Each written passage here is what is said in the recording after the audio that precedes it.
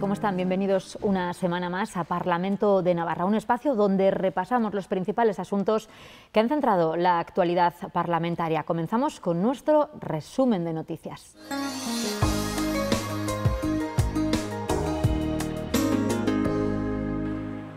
Podemos e Izquierda Esquerra le habían pedido a la mesa del Parlamento que no se repitiera esta imagen. No querían ver un año más cómo las puertas de la sede del Legislativo se abría a la figura del ángel. En aras de la laicidad y de la separación eh, Iglesia-Estado y por lo tanto de la convivencia y, eh, y respeto por todas las religiones, eh, creemos oportuno desde Podemos que eh, algunas tradiciones tienen que empezar a formar parte del pasado. Estamos todavía a tiempo de que haya una reflexión y una rectificación por parte de quienes han apoyado que siga habiendo actos de contenido religioso en el Parlamento. Estamos a tiempo de rectificarlo. EH Bildu y el PSN apoyaban la iniciativa, pero no ha salido adelante porque se han impuesto los tres votos en la mesa de Guero Abay y UPN. Continuar con esta tradición, que es verdad que hasta hace pocos años se veía con total normalidad, pero bien es cierto que en los últimos años parece que algunos grupos se han empeñado pues, en eh, intentar que, esa tradición acabe acabe en este caso en el Parlamento de Navarra. Izquierda Esquerra y Podemos, que como Guero Abay hemos apoyado el Parlamento abierto para que en este Parlamento puedan venir, para que a este Parlamento puedan tener acceso las distintas voces de la gran y enorme pluralidad existente en Navarra, soliciten la no autorización de una visita. La última semana de abril, el Ángel de Aralar volverá a estar en Pamplona visitando las diferentes instituciones y lugares de culto de la capital. La presidenta vuelve a tomar partido a favor de la futura ley de símbolos y la derogación de la actual. Nadie va a eliminar los símbolos de Navarra. Un lenguaje bronco, crispado y que dibuja ese escenario apocalíptico que tanto les gusta imaginar, porque efectivamente solo existe en su imaginación. Comparecía a petición de UPN y el PP que le pedían que no salga adelante la futura ley porque dicen existe un rechazo popular. La Icurriña enfrenta y divide. ¿Sabe por qué, señora Barcos? ¿Sabe por qué? Pues porque para poner la Icurriña en esta comunidad se ha amenazado a mucha gente y se ha asesinado a algunos. Esto es un insulto a los navarros, claro que lo es. Usted no sale a la calle. Usted está todo el día en el palacio, en su palacio de Navarra. No sale a la calle. No le pregunta a la gente. En el cuatripartito se respaldan las tesis fundamentales de la futura ley. No hagamos trampas, porque podríamos decir que la bandera, los colores de la bandera por la que fueron asesinados más de 3.500 personas en Navarra, eran los colores de la bandera española. Y si eso vale para otras banderas, para esa también. De verdad, cuando ya por séptima vez se vuelve a tratar lo mismo, con el mismo objeto, el reglamento prevé que no tenga por qué discutirse. Por lo tanto, agradeceríamos que evitáramos el filibusterismo político. Y... Ni cambia el estatus de Navarra, eh, ni cambia la realidad institucional de Navarra. El PSN no comparte la intención del Gobierno ni algunos argumentos de la oposición. Que debemos tener un debate sosegado del tema, porque sinceramente meter en un mismo plano la Icurriña y ETA pues es lo mismo que meter musulmanes y yihadistas. Yo creo que este es otro paso más en esa hoja de ruta nacionalista vasca que pretende el cuatripartito. De lo que estamos hablando es de normalizar el uso de los símbolos con los que las mujeres y hombres de esta comunidad se identifican que no son los mismos para todos. La ley de derogación de la norma de los símbolos de 2003 está en trámite parlamentario tras su admisión por parte de la Mesa y Junta. La consejera María José Beaumont afirmaba que el Ejecutivo quiere apostar por una oferta pública de empleo de técnicos informáticos para recuperar las plazas perdidas en pasadas legislaturas. Beaumont ha indicado que desde 2004 la Dirección General en su conjunto ha perdido un 23% del personal funcionario y desde 2011, año de la última OPE de técnicos informáticos, se han perdido 16 plazas. La Cámara de Contos destacaba esta semana la situación saneada del sector público local en 2014. Asuno Loachea, en comparecencia parlamentaria, afirmaba que los ingresos del sector público local experimentaron un ligero aumento en relación a 2013 y los gastos registraron una ligera disminución. La presidenta de Contos recomendaba concluir el proceso de reestructuración de la administración local.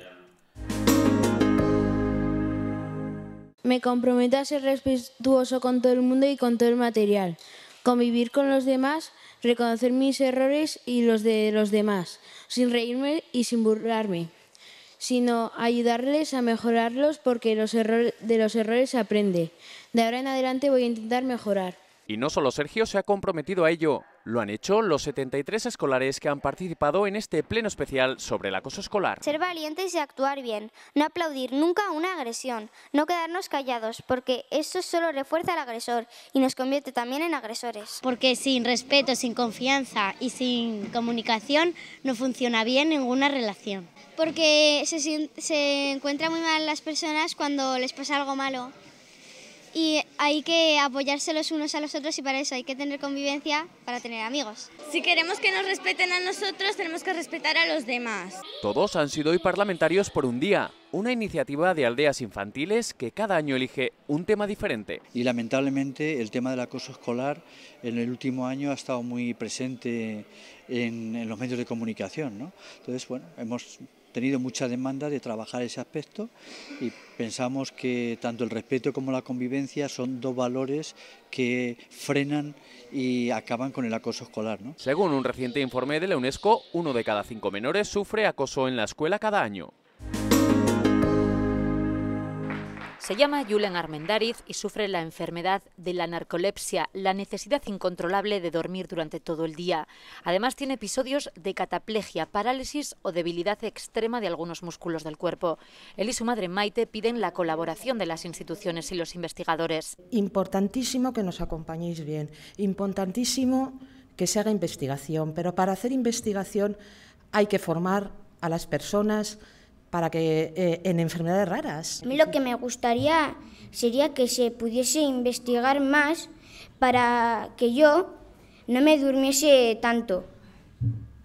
No me durmiese tanto que pudiese hacer más cosas de las que puedo, porque yo no puedo estar, por ejemplo, un día entero aguantando sin dormir. Las familias y los enfermos se quejan de la falta de colaboración de las instituciones. Hoy Desi querría ver crecer a su hija, pero la enfermedad de la pequeña guerrera se la llevó hace un tiempo y cree que aún se puede hacer mucho más. Reivindicando en mi nombre, en el de mi hija y en el de todos los afectados, bien sea por una cardiopatía congénita u otra enfermedad grave, que se modifique esta cuantía de dietas e incluyan a los dos padres para acompañar a su hijo en unos momentos tan duros. Y además aprovecho para exigir que se revise ya el tema de las minusvalías, porque este tema en Navarra da vergüenza. María José tiene un hijo que sufre la enfermedad rara de Angelman. Ella ha sido y sigue siendo su cuidadora y reivindica la labor de las madres que después de todo el trabajo se quedan sin derecho a la jubilación. Me pasé los primeros años de vida de mi hijo entre hospitales, por lo que tuve que dejar de trabajar. Ahora no puedo acceder al mercado laboral y el día que llegue la edad de jubilación tampoco tendré derecho a ella, a pesar de haberme pasado toda mi vida al lado de cuidando a una persona dependiente. Porque no soy cuidadora profesional, tampoco no profesional. Solo tengo muy bien ganado el título del que no me puedo jubilar. Soy madre. En Navarra, 38.000 personas tienen alguna de las distintas enfermedades raras. Hoy más que nunca, como dice su eslogan, en la investigación está su esperanza. La declaración de urgencia aprobada por todos los grupos en la mesa y junta de portavoces del Parlamento rechaza la presencia en Navarra del autobús de Hazte y solicita al Gobierno que adopte las medidas para evitar su llegada y la realización de la campaña. Consideran todos los grupos que contraviene el respeto a la diversidad y en particular a la diversidad sexual y el respeto que se merece el colectivo transexual. Este Parlamento está trabajando con los diferentes grupos LGTBIQA eh, para una nueva ley y creo que rechazamos todo tipo de acoso y derribo contra sobre todo menores eh, transexuales, esos menores que están haciendo su tránsito. La declaración la han aprobado todos por unanimidad, incluido el PP, que en un primer momento no había firmado el texto llevado a la mesa y junta. Que vamos con las leyes y la Fiscalía ha visto algún, algún tema que tenga que ser objeto de paralización del autobús, pues por supuesto que nosotros eso lo apoyamos porque es lo que decide lo que puede decidir la justicia. También por otro lado queremos decir que creemos en la libertad de expresión, que también dijimos que la campaña de Crisales en su momento no nos pareció adecuada. En la declaración el Parlamento reitera su reconocimiento de los derechos de las personas transexuales, incidiendo especialmente en los menores y su derecho a la no discriminación.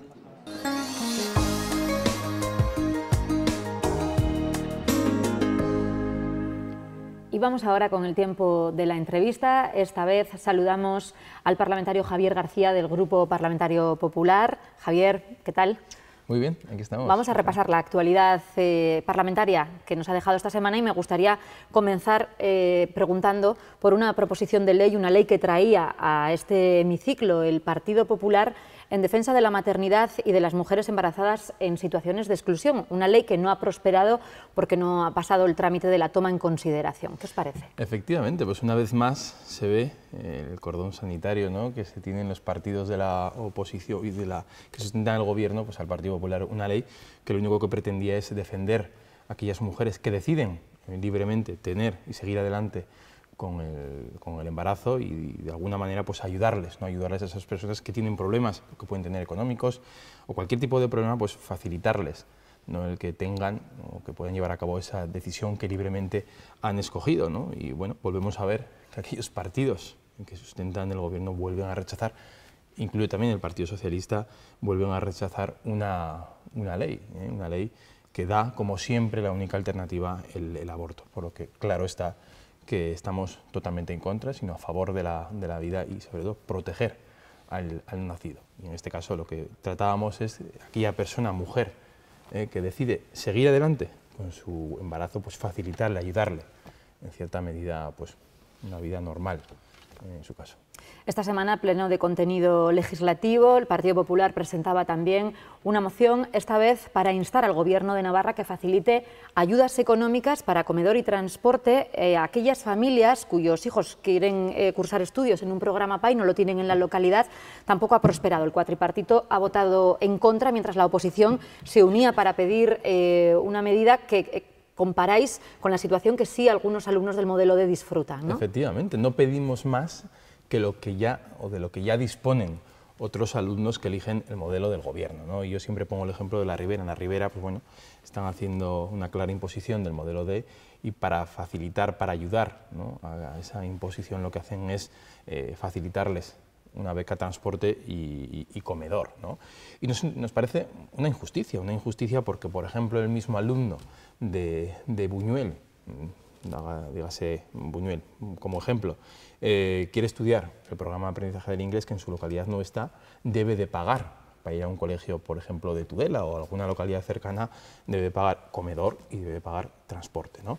Pero claro, ese mismo u otro alumno, compañero de Buñuel, que elige el modelo D, a ese le van a pagar el comedor y le van a pagar también eh, el transporte. Por lo tanto, nos parece una injusticia ¿no? que entre alumnos o compañeros ¿no? de la misma cuadrilla pues existan esas diferencias. ¿no? Por lo tanto, no entiendo la postura de los grupos que sustentan eh, el gobierno. Y no lo entendemos, o sí que lo entendemos, es por la campaña que hacen en contra de, todo aquello que suena inglés y todo aquello que suena el programa de aprendizaje del inglés. Dicen siempre que efectivamente las características de un modelo y un programa son totalmente diferentes. Pues entendemos, compartimos que no es lo mismo, ¿no? pero claro, el primer paso quizás es que se replanteen, que reflexionen sobre hacer del programa, por cierto, gran éxito que tiene siempre y de manera continua, y este año también lo ha sido, con casi un 70% de nuevos alumnos que eligen el programa de aprendizaje del inglés, pasarlo o transformarlo en un modelo con las mismas condiciones y sobre todo con la misma igualdad de oportunidades para todos. Porque también en el norte hay, por ejemplo, muchos alumnos mm, que quieren estudiar inglés y no tienen tampoco esa posibilidad, o estudiar en castellano. ¿no? Y tampoco se les da esa posibilidad porque en su colegio solo está o solo se imparte el modelo D. A esas personas se les va a facilitar, se les va a ayudar. Claro está que con la postura que hemos visto, pues no lo va a ser, ¿no? sino que ellos protegen eh, o mantienen esas ayudas solo al modelo D, lo que demuestra una vez más el sectarismo con el que actúan, liderados por el señor Mendoza, también, claro está, por la señora Barcos, ¿no? que es máxima también responsable de este gobierno. Habla, eh, señor García, de los datos relativos a la prematrícula de este año, la campaña de matriculación que el consejero Mendoza, el consejero de Educación, hacía públicos esta misma semana. Podríamos poner algunos datos sobre la mesa. 60% de los padres han elegido la enseñanza pública frente al 40% de la concertada. El modelo de castellano con el programa de aprendizaje de inglés es la primera de las eh, prioridades. Se han abierto nuevas líneas del modelo D en algunas localidades de la zona mixta. ¿Qué, balance hace el Partido Popular de los datos que se han visto de la radiografía de la elección y la preferencia de las familias? ¿Qué balance? Pues eh, eh, sobre todo un fracaso, ¿no? un fracaso de una, de una imposición, ¿no? porque han tratado de meternos hasta por los ojos el modelo D en la zona no vascófona, en la ribera, y luego el resultado ha sido tres, insisto, tres eh, únicas eh, prescripciones. Por lo tanto, un fracaso, una inversión mal hecha. No hay una rentabilidad de esa, de esa inversión. Y la gente pues, decide, siete de cada diez alumnos de nuestra comunidad eligen el programa de aprendizaje del inglés, o sea, ha incrementado un 3,2% con respecto a la prematrícula y matrícula del año anterior, por lo tanto es un dato importante, que aún eh, con el desprestigio continuo, la campaña de desprestigio que pone en marcha el gobierno con respecto al programa de aprendizaje en inglés, la gente valora, lo valora porque efectivamente es garantía de, futuro ¿no? y poder competir con otros alumnos de la Unión Europea con un idioma pues, eh, que les guste o no a los miembros del gobierno es el de futuro, ¿no? que, es el, que es el inglés, frente al 0,1 que se ha visto eh, incrementado el modelo del modelo del gobierno, a pesar de las multitud eh, de campañas, multitud de charlas que se han ido dando por parte del gobierno, independientemente de que la haga el Instituto de, Euskera, pertenece al propio eh, gobierno. Por lo tanto, un fracaso, un fracaso absoluto de aquellos eh, sitios en los que ha intentado, sobre todo en la zona vascófona, imponer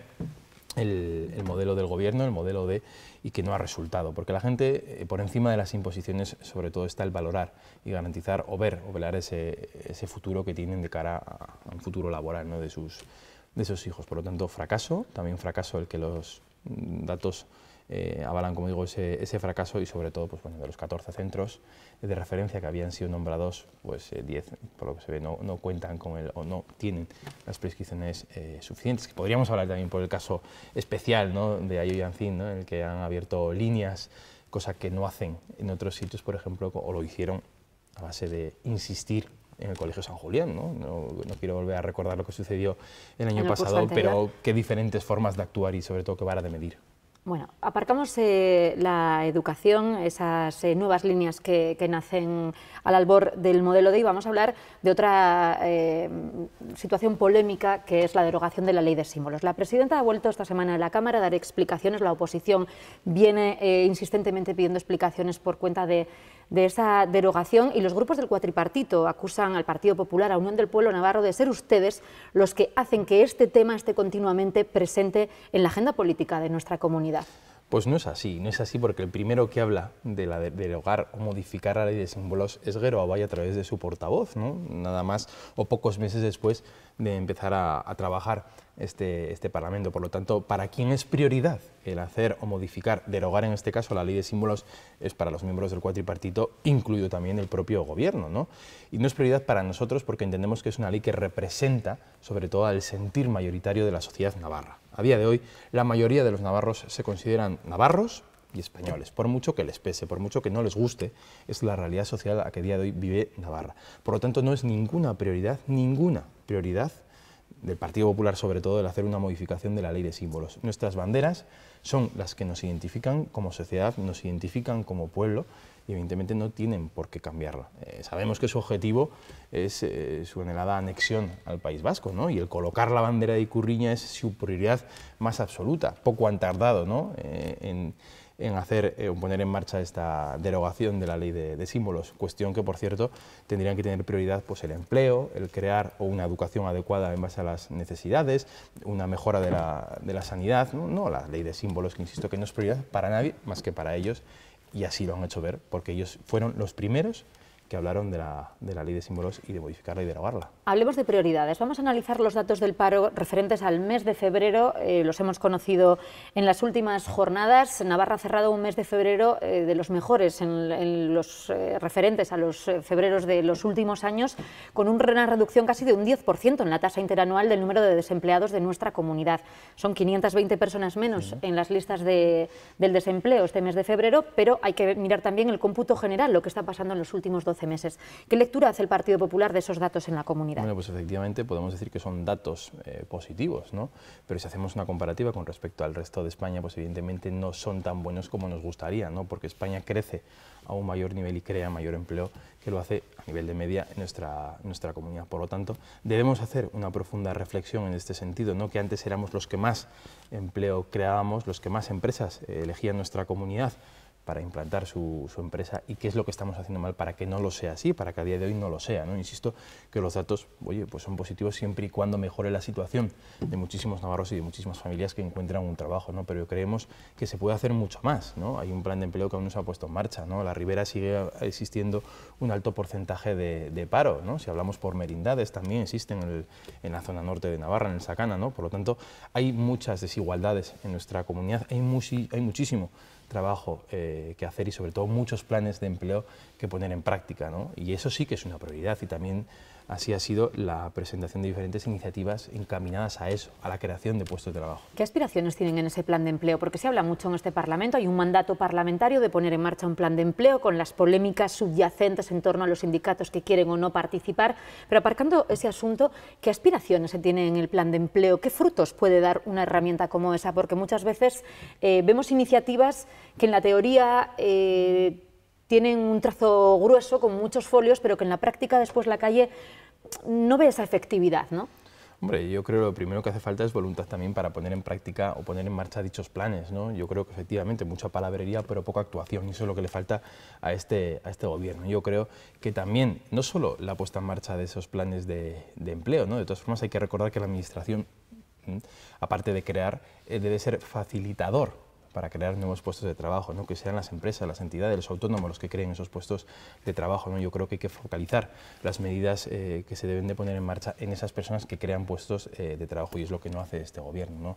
Nosotros, insisto, la, la visión que se tiene en este caso es que la Administración facilite, claro está, debe de crear puestos de trabajo para mantener los diferentes servicios, pero que facilite la gestión para la creación de nuevas eh, empresas. Y efectivamente aquí lo que se queda es mucha palabrería, efectivamente mucha documentación, pero poca actuación, ¿no? con lo cual hay que instar al gobierno a que trabaje verdaderamente, no hablar, ¿eh? que las palabras se las lleva el viento, y actuar y poner en práctica medidas que efectivamente pues, den solución a los datos, eh, en este caso de, desempleo que existen en nuestra comunidad.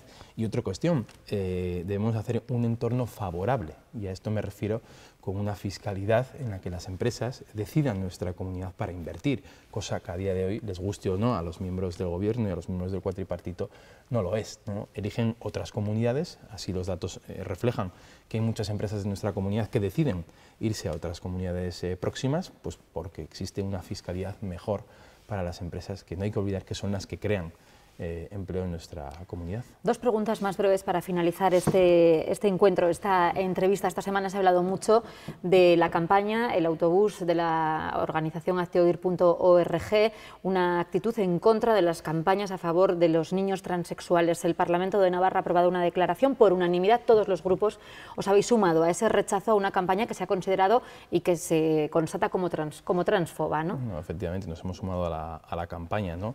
Pero también hay que, bueno, nosotros respetamos la libertad de, opinión, ¿no? siempre y cuando no, no, afecte a la libertad de otras personas, pero sobre todo y por encima de todo, pues también defendemos y respetamos las decisiones eh, judiciales que, existan. ¿no? Me y que han paralizado ese autobús. Efectivamente, ¿no? y bueno, pues eh, quizás el mensaje que se da no es propio ni es adecuado ¿no? en una sociedad en la que vivimos a día de hoy. Y por último, el Partido Popular emprende, en Navarra emprende la recta final hacia ese Congreso para elegir al líder de, un partido que ha estado en una situación de provisionalidad con esa gestora en los últimos años, con dos opciones, eh, su compañera de escaño, la portavoz actual Ana Beltrán, y también el otro eh, candidato. No sé qué cree que va a pasar en el seno de ese Congreso. Bueno, pues lo veremos, ¿no? Lo veremos próximamente, ¿no? Efectivamente es momento, ya es hora, ¿no? De que mantener de esa situación quizás que se encontraba el Partido Popular con una comisión eh, gestora, ¿no? pues, y ahora empezar a, dar pues, eh, una implantación seria eh, del, partido en nuestra, en nuestra comunidad. Lo que decida, lo que pase, claro está que lo decidirán los, los afiliados del Partido Popular, que son ellos los que deciden ¿no? y avalan y votan con, su, con sus condiciones, con su, lo que les presente cada uno de los, de los candidatos, pues lo que, lo que quieran votar. Así que acataremos lo que Javier García, muchísimas gracias por haber compartido este tiempo de reflexión, de punto de vista y de opinión en esta entrevista aquí en el programa Parlamento de Navarra. Pues así, además, poniendo punto y final a este encuentro, ponemos punto y final también a este espacio donde repasamos la actualidad parlamentaria. Les esperamos la próxima semana.